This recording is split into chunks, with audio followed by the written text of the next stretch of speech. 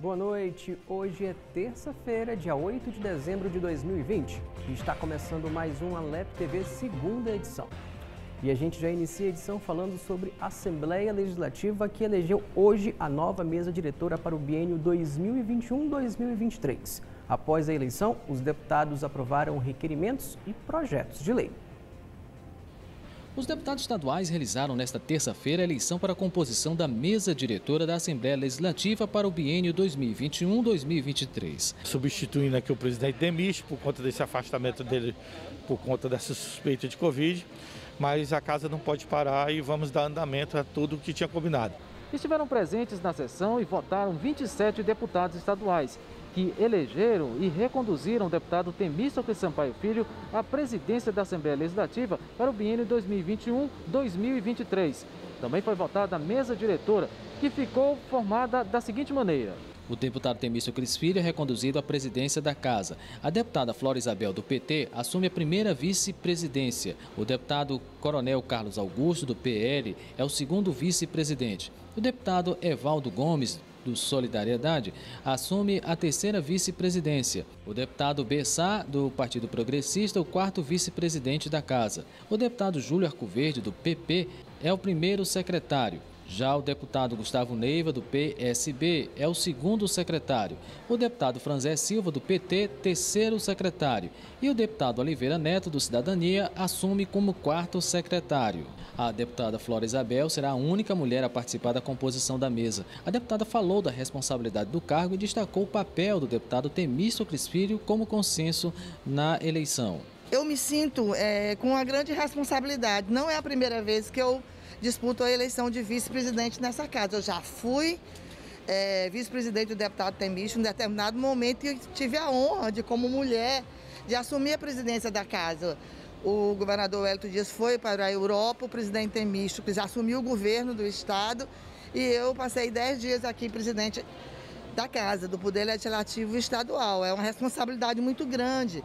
Nós sabemos que, é, que esse poder ele tem muitos projetos que vêm do executivo, mas que tem muitos projetos de grande responsabilidade dos deputados estaduais.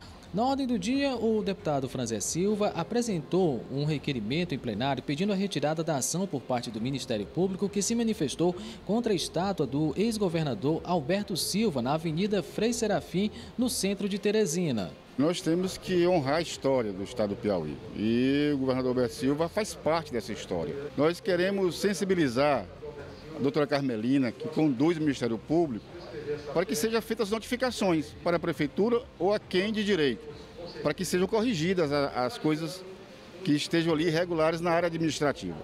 Agora, retirar a estátua do governador Alberto Silva seria uma mácula para a história do nosso Estado. E quero aqui ter a certeza que o Ministério Público vai repensar e arquivar essa medida que iria, de certa forma, colocar um ponto de interrogação em honrar, em homenagear pessoas que se dedicam a esse Estado.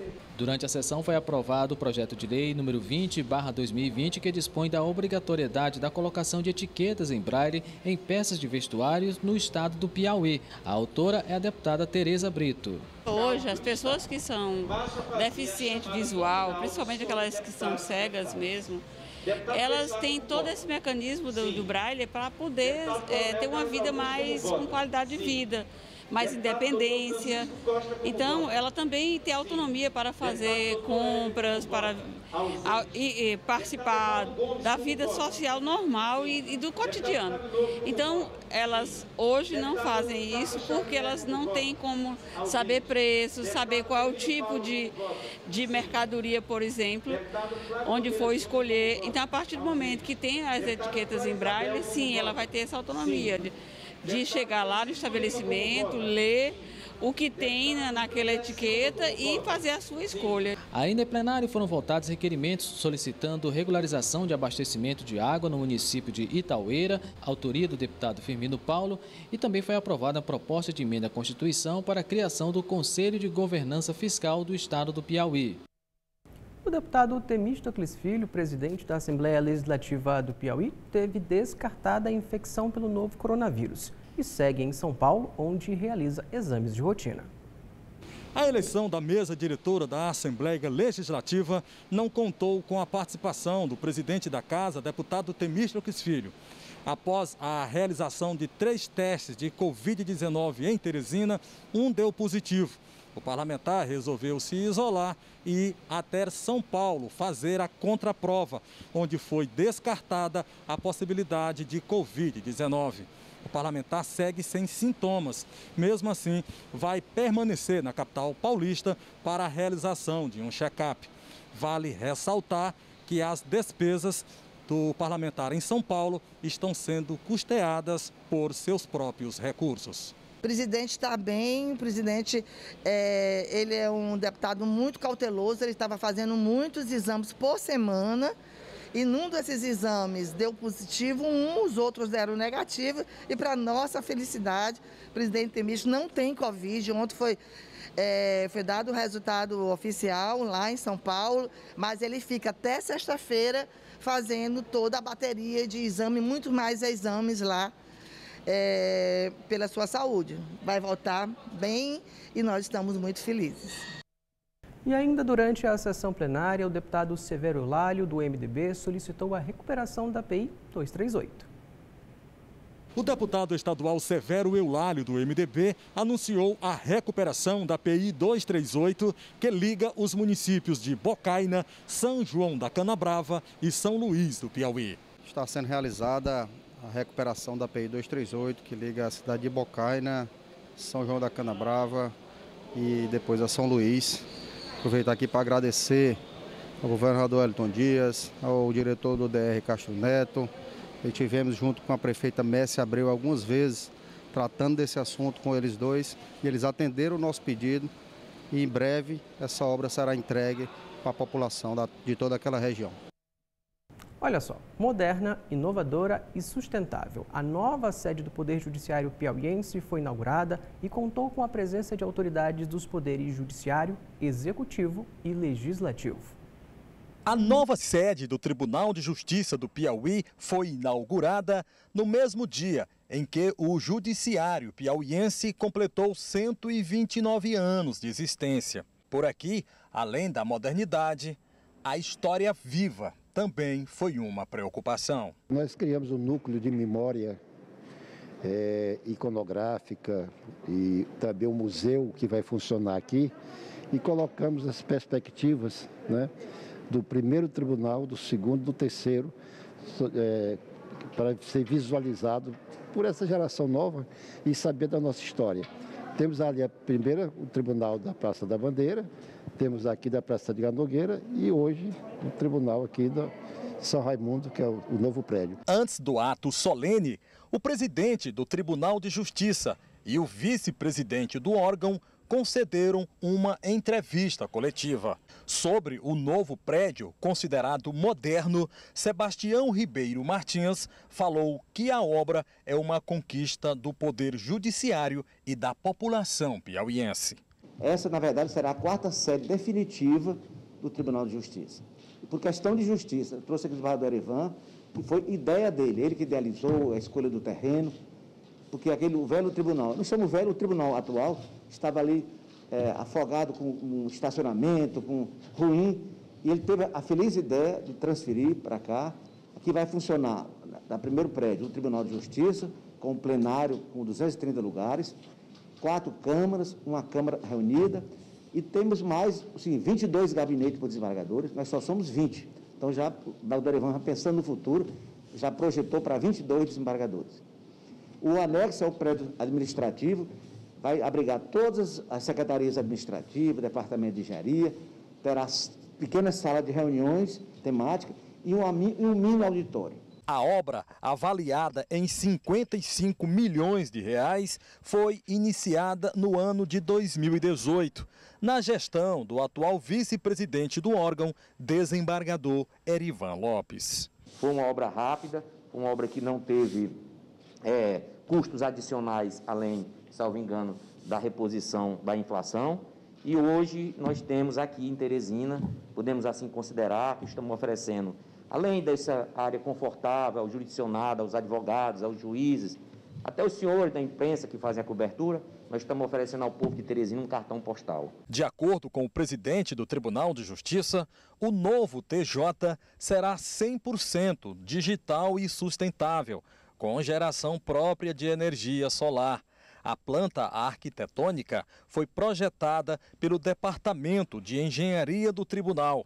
O terreno foi doado pelo governo do estado. Um passo importante, porque ele tem uma vantagem especial esse, essa nova sede do Tribunal de Justiça, ela também é, é coroada com a inauguração em outras regiões do estado. Eu tive o privilégio de pessoalmente acompanhar a inauguração em Picos, inaugurações ali em Bom Jesus, em inaugurações em outras regiões, tanto no norte como no sul do Piauí, nesse momento em que, através do Fermojup, que é uma, um fundo próprio do Judiciário, o Estado muitas vezes entra como parceiro com o terreno, com o acesso, enfim, e garante com isso é, maior dignidade. Na rampa de acesso ao prédio, autoridades concentradas se prepararam para o desenlace das fitas de inauguração do novo TJ. Entre as autoridades, o ministro do Supremo Tribunal Federal, o piauiense Cássio Nunes Marques, que foi homenageado com uma placa. Os pais do ministro, presentes na solenidade, falaram do orgulho do filho ilustre. A gente se sente orgulhoso por dar um fruto digno ao Piauí. Porque nós somos funcionários públicos, nós temos 50 anos de casado e agora que nós estamos dando um grande fruto para o Piauí. O sentimento é demais pelo filho que nós temos, que sempre procurou vencer, é, da vida estudou bem, a gente procurou colocá-los muito bem nos melhores colégios para colher o fruto depois. E estamos colhendo. Durante a fala, o ministro do Supremo Tribunal Federal saudou os pais e falou da importância do Tribunal de Justiça do Estado do Piauí estar com uma nova sede. As pessoas, os meus pais, Camilo Loures e Camilo Marques. Felicito a administração do Tribunal de Justiça do Piauí na pessoa do seu presidente e todos aqueles que contribuíram para que este projeto se concretizasse, desde o seu alicerce e a todos que, com a sua honrosa presença, prestigiaram a presente cerimônia, desejando que esta Casa de Justiça cumpra o fim a que se propõe de forma plena e eficaz. O parlamento estadual foi representado por dois deputados estaduais Henrique Pires, do MDB, que representou o presidente da casa, deputado Temístocles Filho, e Ziza Carvalho, do PT. Piauí ganha um grande espaço, uma grande repartição pública é, de cúpula do poder judiciário aqui, importantíssimo para o funcionamento da justiça e a efetivação dos direitos de todos que se socorrem do Poder Judiciário. E muito importante para que o cidadão piauiense, para que não só o servidor público do Judiciário, mas o cidadão fique bem acomodado nessa sede espaçosa, uma sede com bom acabamento, conforto necessário. Eu acho que o Tribunal de Justiça ele traz uma das melhores sedes e mais belas do Brasil. E veja a seguir a importância da alimentação saudável na dieta das crianças.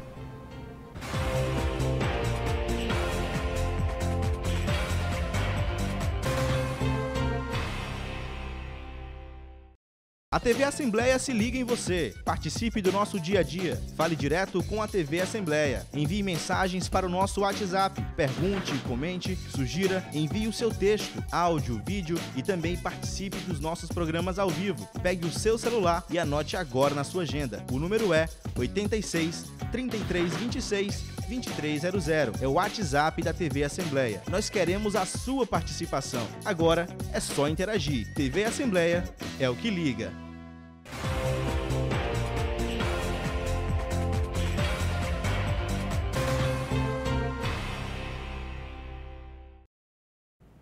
Estamos de volta e agora falando de economia. A crise econômica provocada pela pandemia da Covid-19 afetou diversos setores em, em, todos os países. Mas esse cenário tem sido observado de forma diferente no setor automobilístico, que vem apresentando aquecimento nas vendas e diversas opções atrativas ao bolso do consumidor. Em um cenário de crise, as concessionárias procuram oferecer condições especiais para os clientes. Ribamar resolveu aproveitar as facilidades. Hoje, você adquirir um bem novo se torna mais fácil do que você comprar um usado. Então, eu acho que na taxa de juros para comprar um veículo novo, ele fica, fica mais em conta do que comprar um, um veículo usado. Então, o novo fica mais em conta. E neste cenário de opções, é preciso estar atento às vantagens e desvantagens na hora de comprar carros novos e seminovos. De acordo com informações da FenaBrave, houve um leve aumento da venda de veículos no país entre outubro e novembro deste ano. O aumento registrado foi de 0,45%. Para surpresa de muitos, o mercado voltou bem aquecido, bem comprador. Hoje a gente está com um volume bem acima do que era esperado e com bastantes ofertas de vendas, mas com uma certa dificuldade no prazo de entrega desses veículos, devido a essa demanda acima do, do esperado para o momento. E com a proximidade do Natal, o gerente também esclarece que as taxas de juros são atrativas neste momento. Novembro foi o sétimo mês consecutivo de alta nas vendas em 2020. As taxas de juros estão positivas, são taxas de juros altamente atrativas para você fazer o um bom negócio realmente. Os preços dos carros também estão bem atrativos. E detalhe, houve um superaquecimento também na área do seminovo. Como hoje está existindo uma procura muito grande pelo carro zero quilômetro e estamos com uma certa dificuldade na entrega, nos prazos de entrega, o seminovo seguiu essa tendência então impactando diretamente no negócio. O comércio é, paralelo ao dos seminovos também está bastante aquecido e bem atrativo. E com a proximidade do fim de ano, as lojas do centro de Teresina irão adotar horário especial de funcionamento durante os fins de semana até o Natal. A mudança pretende dar mais comodidade aos clientes nesse período de mais intenso que são as compras. O centro comercial vai abrir nos próximos dois fins de semana, tanto no sábado quanto no domingo.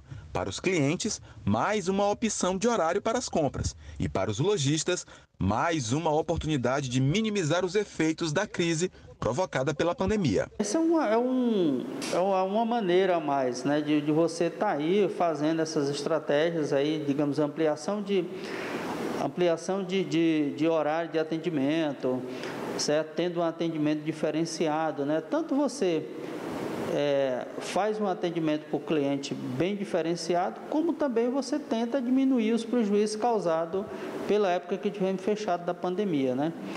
Você tem uma ideia, aqui em nossa capital, o, o, o, cliente ele ainda é daquele aquele cliente que gosta de ir na loja, verificar o produto, e daí ele mesmo eh, realizar suas compras e levar o produto para casa. Portanto, é necessário a gente ter cada vez mais um horário de, atendimento desse, é, principalmente um horário estendido nessa, nessa situação, para que o cliente fica, fique mais à vontade e ele possa ter o seu horário definido no horário que ele puder ir à loja e realizar suas compras. A expectativa dos lojistas é de que com esse período pré-natalino, as vendas de dezembro superem a dos meses anteriores, da fase mais restrita da pandemia. Desde quando abrimos a, as atividades comerciais, que foi em agosto, sempre todo mês a gente vem crescendo. E o mês, o mês de dezembro não será diferente, até porque ele é um mês é, costumeiramente bons de venda, como está acontecendo já. Já tem, já tem lojas já com, com, realizando suas vendas, o comércio tem muita gente procurando, o comércio já está bem movimentado nesse período. Então, com certeza vai ser uma, uma movimentação bastante significativa nesse mês de, nesse mês de dezembro. Não dá ainda para a gente fazer uma comparação com anos anteriores, mas claro, com meses anteriores, isso é tranquilo que a gente vai conseguir superar as vendas do mês de novembro. E agora a gente abre espaço para falar de saúde. O câncer de colo de útero atinge mais de 16 mil mulheres ao ano no Brasil, com 7 mil óbitos registrados. Os dados são do Instituto Nacional do Câncer e o diagnóstico precoce é fundamental para a cura da doença. Os exames de rotina são fundamentais para detectar o câncer de colo do útero. A descoberta da doença, ainda na fase inicial, é fundamental para a eficácia do tratamento. De acordo com os especialistas, o cenário tem preocupado cada vez mais as mulheres no país. Por isso, a prevenção é o melhor caminho. O câncer de colo de útero, o ideal é o paciente, a paciente ter o diagnóstico mesmo antes de ter os sintomas. Então, por isso que é a recomendação da ida regular ao médico e a realização do exame preventivo, que o público leigo conhece como Papa Nicolau. Tá? A recomendação do Ministério da Saúde segue as recomendações da OMS da realização do exame do Papa Nicolau a partir dos 25 anos. Após dois exames anuais normais, esse exame pode ser realizado a cada três anos. Então, dessa maneira, se o paciente tiver alguma alteração no colo de útero, consegue detectar e, é, mesmo antes de desenvolver sintomas. De acordo com dados do Instituto Nacional do Câncer, a estimativa é de 16 mil 1.700 novos casos de câncer do colo do útero no país em 2020. Em estágios mais avançados, as pacientes são submetidas a sessões de quimioterapia. Alguns fatores de risco também devem ser observados. É fundamental manter na agenda consultas periódicas. É aumento do sangramento, pode ter secreção vaginal, pode ter dor durante a relação sexual ou sangramento pós uma relação sexual. Então, tudo isso faz parte do quadro clínico do câncer de colo uterino. O câncer ele é uma doença prevenível. Se a mulher fizer os exames, ela vai descobrir alterações no colo uterino pré-câncer, que se for tratada, vai evitar até mesmo de desenvolver a doença fica a dica, né? Olha só, conversar, falar da vida, desabafar com o desconhecido pode ajudar quem está na solidão, mesmo cercado de outras pessoas. O CVV Teresina está completando 35 anos com voluntários especialistas em ouvir. Ao atender essa ligação, a voluntária do CVV, Centro de Valorização da Vida, sabe que uma vida desconhecida pode ser salva. Esta é a missão primordial desta organização que há 35 anos escuta pessoas em Teresina. É estar disponível, né? Por isso que ele é um serviço a ser oferecido à sociedade, a todas as pessoas que querem e desejam conversar. A gente não liga, nós só recebemos ligação. Então, nossa proposta é estar disponível, com aceitação, com compreensão, de forma sigilosa, com respeito, tá? É, o anonimato, ele prevalece, então a conversa que ele fala aqui, ela realmente vai ficar aqui, ela não vai ser ver a sua história contada para outras pessoas, e isso é que faz que o trabalho do CVV cresça cada dia mais. Eider participa do movimento há 15 anos e não esconde a satisfação de ajudar o próximo. Eu tive depressão há uns 25 anos atrás e na época não tinha com quem conversar, não sabia nem da existência, eh, infelizmente, que existia o CVV aqui em Teresina. E eh, pela falta de não ter com quem conversar, na época, eu vi que estar no CVV e oferecer isso para as pessoas seria uma coisa interessante, dar a elas o que eu não tive né, na época que eu precisei de alguém com quem compartilhar minhas dores, né, meu sofrimento, e agora eu, posso oferecer às pessoas que ligam a qualquer um e a qualquer horário dentro do trabalho de voluntários do CVV. Eider lembra que o CVV funciona 24 horas por dia e que durante o isolamento social provocado pela pandemia, houve uma certa mudança nas características das ligações para o serviço. Parece que uh, os problemas anteriores à pandemia, como por exemplo solidão, fins de relacionamento, perda de trabalho, ficassem em segundo plano. E aflorou realmente o medo de morrer pela pandemia, o medo de se contaminar, o medo de não vir mais voltar ao contato com as outras pessoas, justamente pelo, pelo isolamento social. Muitas pessoas tiveram problema em suportar o isolamento social. Parece que era uma coisa que tinha vindo para ficar, esse distanciamento, que ninguém mais ia voltar a se encontrar com os parentes, com os amigos. Né? Então, muitas pessoas demonstraram sofrer muito com esses problemas. E os demais problemas que eram sempre reportados anteriormente parece ficar em segundo plano, mais escondidos. O CVV existe há 58 anos no Brasil e envolve cerca de 4 mil voluntários com um interesse em comum: ouvir e ajudar a quem precisa. É muito importante a nossa contribuição enquanto pessoa, porque isso vai ajudar no nosso autoconhecimento, na nossa disponibilidade. E ser voluntário, além de tudo, ele ajuda mais a ele mesmo do que as outras pessoas. Então, estar, oferecer esse serviço de apoio a todas as pessoas que querem e desejam é, conversar é muito importante para a nossa sociedade. Como parte das comemorações dos 35 anos do Posto Teresina, vai haver uma live comemorativa no dia 9 de dezembro, às 7 horas da noite nas redes sociais. Para mais informações sobre essas opções de contato, basta acessar a página www.cvv.org.br ou ligar para o 188. É isso aí, está precisando de ajuda, então fica atento. 188, liga. Olha só, quem tem filho sabe, manter uma alimentação correta durante os primeiros anos de vida da criança costuma ser algo bem complicado para os pais. A maioria rejeita certos alimentos. Por isso, é fundamental uma introdução alimentar e balanceada. Karime é mãe do pequeno Rafael, de dois anos. Ela sempre teve os cuidados com o filho na hora da alimentação e prepara com cuidado cada detalhe. No café da manhã, a preferência é pela salada de frutas. Assim, ela procura manter na rotina da criança uma introdução alimentar balanceada. Eu sempre busquei ter algumas restrições, né? A amamentação dele foi livre, mamou até um ano e três meses. Aí logo que ele foi liberado a frutinha, a sopinha, eu já ofereci todos os tipos de frutas. E ele de início, graças a Deus, aceitou todas, né? Sopinha, depois foi comida. E assim, eu sempre evitei dar é, bolachas industrializadas. Evitei não, ele não come até hoje. Os nutricionistas dão dicas importantes para os pais.